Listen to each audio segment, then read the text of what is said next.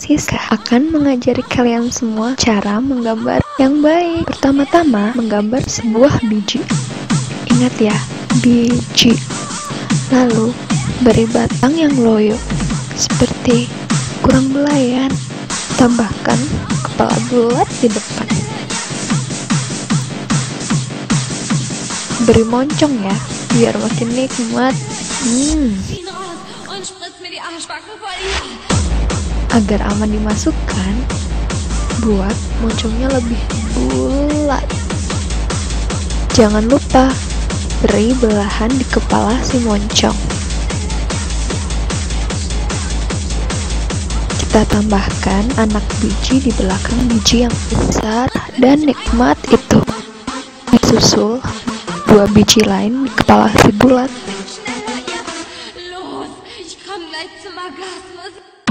Hitamkan sebagian agar keluarnya bisa puas. Lebarkan belahan kepala moncong. Beri tiga helai rambut kenikmatan hmm, di kanan dan kiri.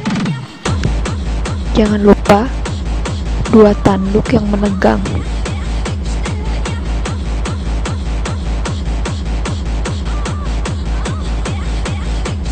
Beri kaki dan tangan agar ia bisa meluncur dengan gesit seperti diberi pelumas.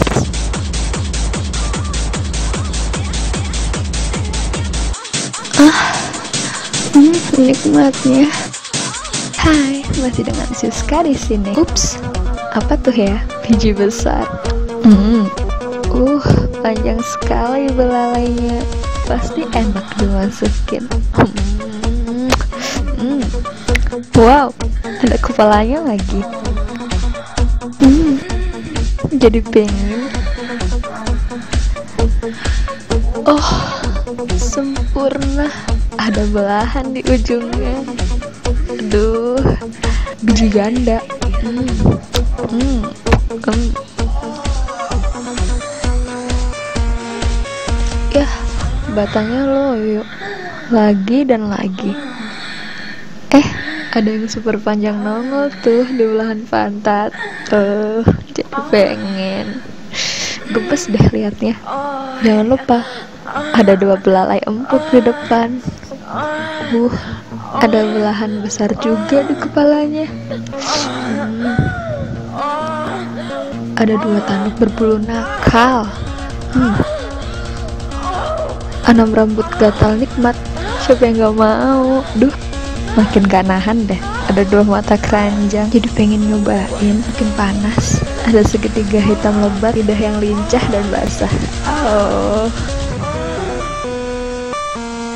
Hai Siska masih di sini untuk kalian semua kita bikin biji di sebelah kiri.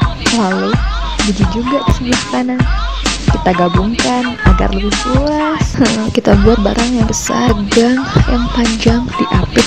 Dua biji di antaranya tambahkan juga kepala bulat dan motok di ujung batangnya. Jangan lupakan bulu getar ya biar getar makin geli makin nikmat. Beri belahan di ujung kepala. Belai kepala batangnya. Gosok dengan lembut si biji dan si batang. Hmm, sampai mulus. Beri helm juga agar si kepala dede aman. Aku suka yang gelap hitam dan besar. Bikin gemes deh. Lebih lengkap lagi kalau ditemanin yang kecil-kecil. Biasa buat pendinginan aja.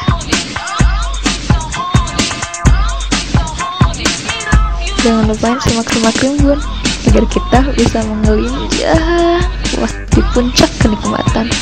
Ah. selamat mencoba ya. Dadah